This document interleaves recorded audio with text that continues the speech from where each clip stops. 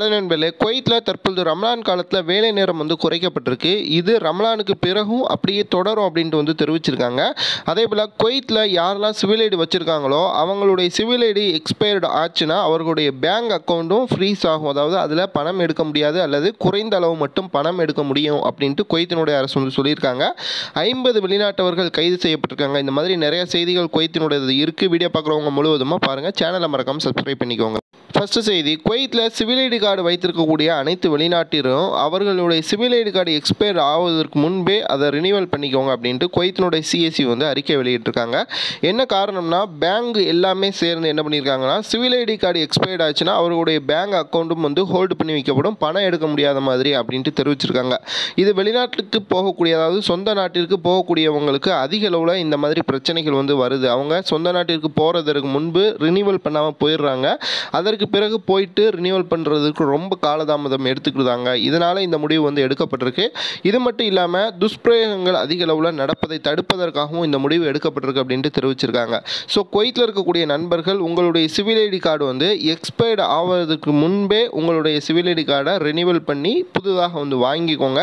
இல்லை அப்படின்னா உங்களுடைய ஏடிஎம் கார்டில் யூஸ் பண்ணும் பொழுது ரொம்பவே சிக்கலை வந்து அனுபவிக்க நேரிடும். குறிப்பாக குறைந்த சம்பளத்தில் இருக்கக்கூடியவங்க ஒரு ஒரு மாதத்திற்கு முன்பே உங்களுடைய சிவில் ஐடி கார்டை ரினிவல் பண்ணிக்கிட்டீங்க அப்படின்னா எந்த பிரச்சனையும் இல்லாமல் உங்களுடைய அந்த ஏடிஎம் கார்டு வந்து ஒர்க் ஆகும் அப்படின்ட்டு தெரிவிச்சிருக்காங்க. அடுத்த செய்தி குவைத்தினுடைய அரசு துறை நிறுவனங்கள் மற்றும் கல்வி நிறுவனங்களில் தற்பொழுது இருக்கக்கூடிய ஷிஃப்ட் முறை தொடரும் அப்படின்ட்டு தெரிவிச்சிருக்காங்க.